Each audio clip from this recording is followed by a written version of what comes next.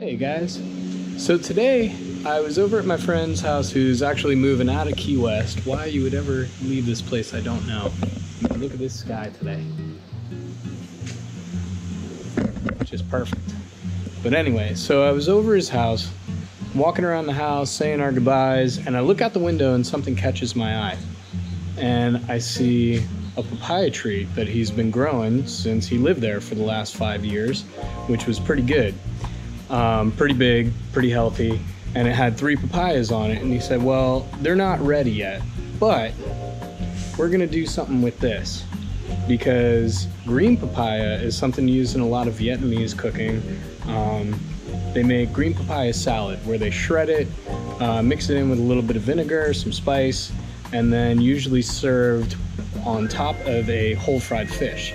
So maybe we'll go down to uh, White Street Pier today, use the bait we caught, and try to catch us some snapper or grunts, fry them whole, and put our shredded green papaya salad on top. We're loading up the fish assault vehicle. Now let me show you this. Don't get jealous of it. It's pretty nice. Gets the job done. Look at this beauty.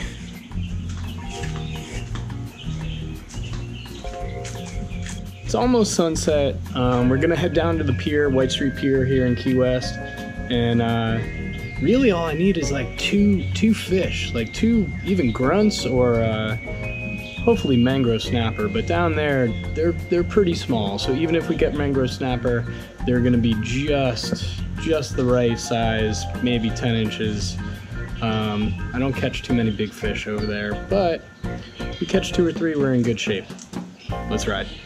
So I'm pretty lucky because I live literally a three minute bike ride to White Street Pier. I mean, Key West is a small place, so there's not too much that's far away to begin with. We're on a uh, two by four island. But one of the major pluses here is for me, uh, just to catch some small stuff for dinner, for a snack, or honestly out of just boredom sometimes go down to the pier and fish for a little while. And uh, once or twice I've gotten decent fish over there, but it's really, things are gonna be just at the limit. But that's okay, that's all we need. Um, and those smaller guys actually fry up perfectly, so I wouldn't be mad if that's all we got. So we have our bait that we caught in the cat's net the other day, cast net. And then as far as my setup with the fishing pole, pretty simple. Spinner rod with a knocker rig. That's it, and I just have that on there really so that I can cast out. So put the bait on, I cast out, and I retrieve real slow. And uh, there's a lot of small stuff here, so we're gonna get bitten off a ton. But hopefully we hook a couple of them just right. So let's give it a shot.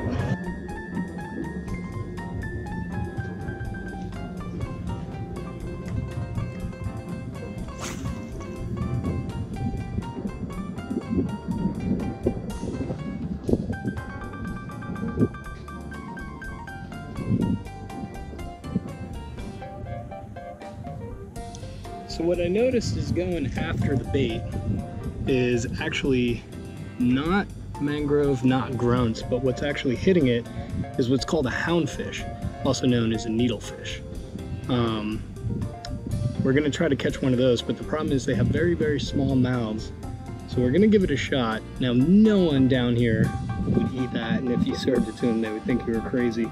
But they're actually incredible. All white meat, absolutely incredible.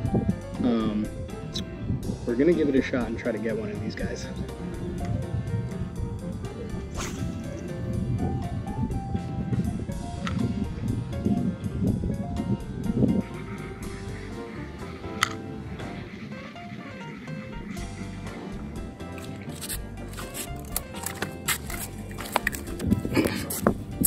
All right.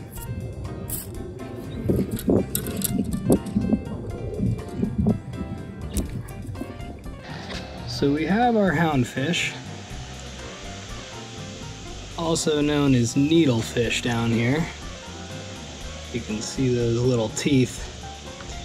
And these guys kind of have the same stink that barracuda have. So they come out of the water and they smell like old seaweed. They don't smell great. These guys, it was pretty funny even while I was fishing. And sorry about that, my GoPro died, so hopefully my phone footage is, it's okay. Um, but a lot of people were like, what are you catching? Oh, you're catching bait. I said, well, no, catching dinner.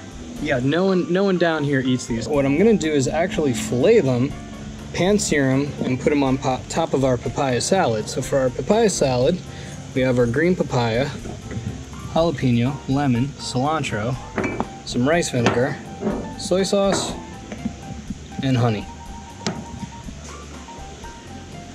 So fillet these like any other fish.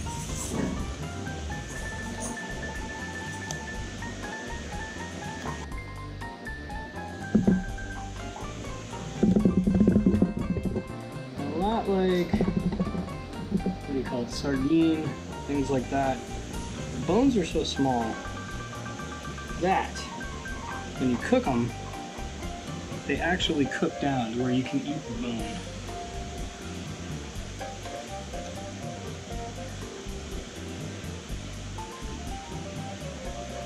Have our one fillet. Now the only reason, the only reason that that meat looks dark is because of the skin on the other side. But if you look at the meat down by the silver part, it's actually very translucent. Really, really good. Now, I would never think, okay, I'm gonna go down and catch some houndfish, needlefish to show on my station here.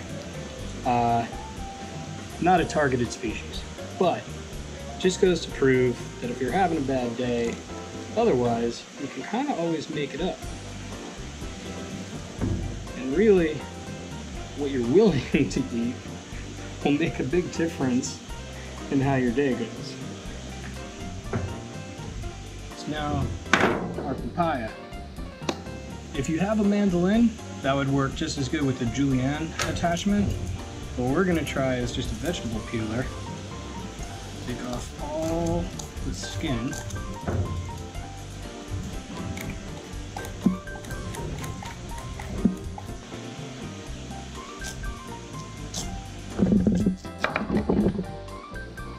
Oh, that is absolutely beautiful. So, the unripened papaya, a lot like unripened mango, is going to be very, very tart. So we want to mellow that out with a little bit of sugar, a little bit of salt, but that is a beautiful thing.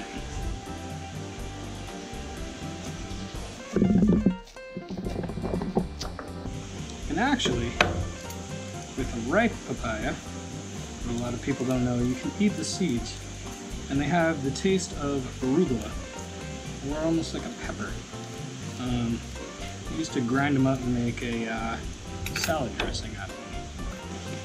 Let me get it cleaned up here, then we'll get going.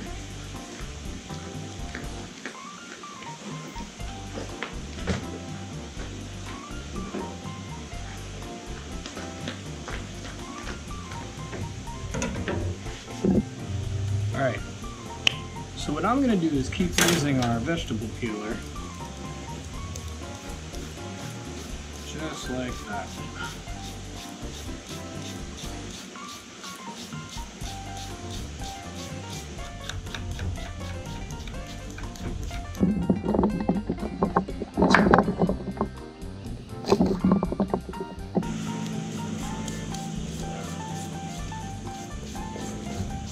So for me, this episode is a little bit more about this papaya than it is the fish that we caught. And the reason why is because one of the interesting things down here at Key West is that we do have a lot of fruit trees.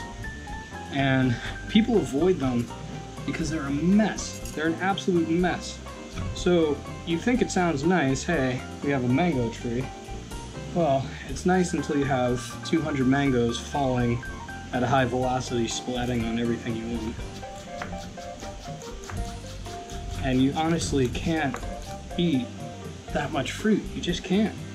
But what it creates is that you give them away and you trade and you do all these really kind of amazing things that a lot of people do with fish also because a lot of people catch an abundance of fish that they don't know what to do with and they end up giving it to friends and family and neighbors and that's kind of what happens down here with a lot of the tropical fruit check that out now I'm gonna add just a little bit of jalapeno.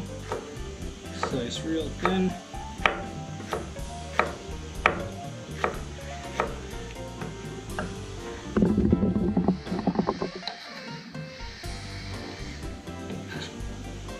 Some cilantro, one lemon. Actually, we're gonna do only half a lemon because like I said, that papaya is pretty tart. Our honey.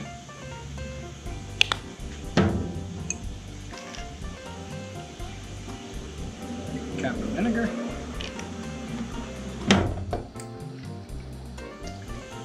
Some soy sauce.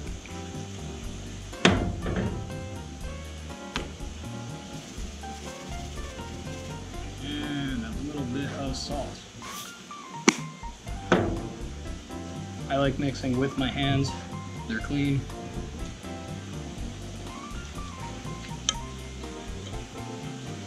And now from the salt, that papaya is actually going to release a little bit of liquid. So it's going to become pretty wet pretty quick. There we go. That's it.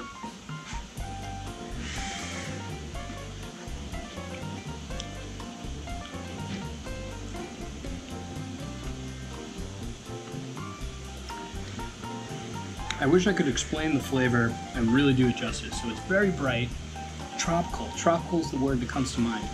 Even with the lemon, the honey, the papaya, because it's not ripe, doesn't have any sweetness to it, so that's why we added the honey. But it still has a lot of bright flavor because, like I said, it's tart. So you mellow out that tartness, and I mean, that just tastes, if you served it to someone,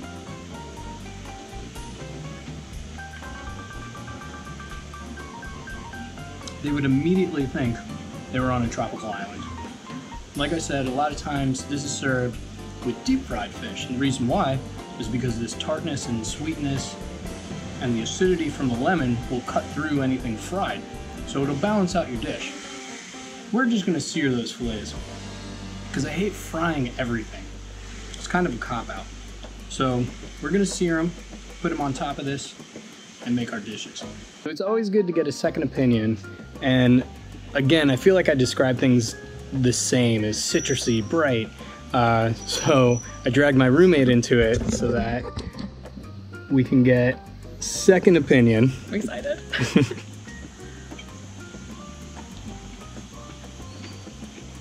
oh yeah. It's like super crisp and like the citrus and the cilantro and is there like jalapeno or something in Yes, there? there Ooh, so good.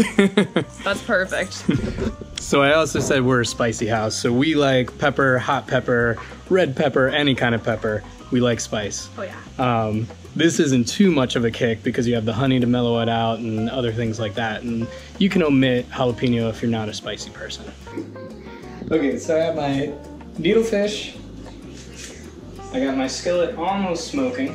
Actually, is smoking. We'll lower that just a little bit. So, a little bit of salt on our fillets. And these are gonna cook very, very fast.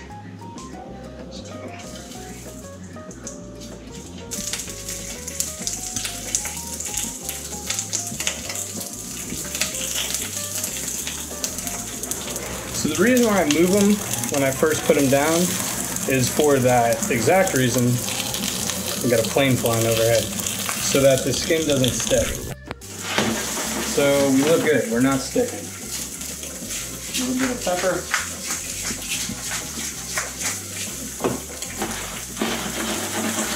So the other thing with these, because they are so delicate and so small, I'm gonna cook them almost all the way through on one side.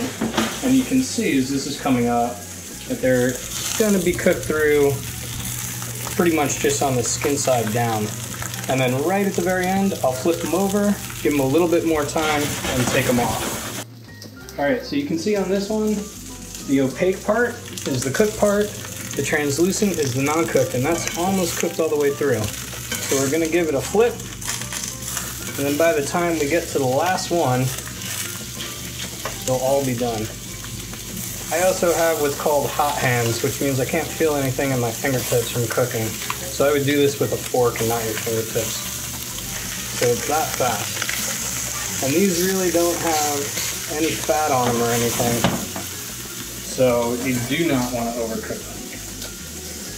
Let's see. Bring these outside and get a better look in the sunlight.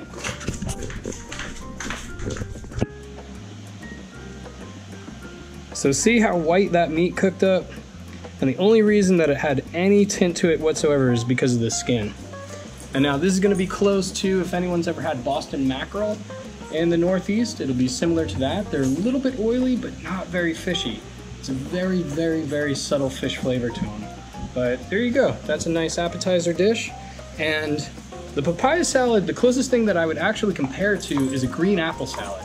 The way the green apple has that really crisp, tart flavor, this is gonna be similar to that. So you could substitute, if you can't get green papaya where you are, you could substitute it with green apple. So the upside to being a roommate with me is that you got a, lot of food. The downside is that I make you eat a lot of weird stuff that you probably haven't eaten before, but I promise you it's all good. And I will take the first bite just to prove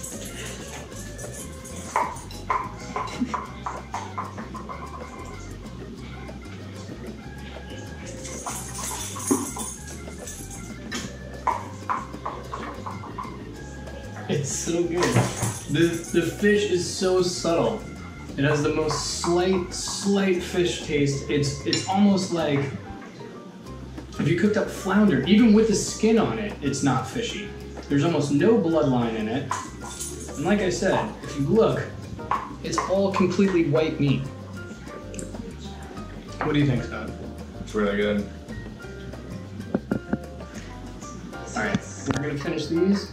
If you like this recipe, like this episode of Cooking with Clams, hit like, hit subscribe, help me out a little bit, and give suggestions of what you want to see.